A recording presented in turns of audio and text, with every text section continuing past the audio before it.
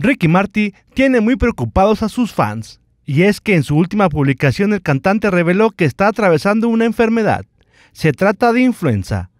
Fue a través de Instagram que el cantante comunicó que está enfermo y que ahora está tratando de recuperarse de la influenza. El boricua compartió una foto en la red social en la que aparece cubriendo la cabeza con una capucha y en monos acompañada del mensaje flu, revelando que al parecer padece el peligroso mal de la influenza enfermedad que afecta las vías respiratorias y que puso en riesgo la vida de Adamari López hace unos meses, informó Isaac Pérez.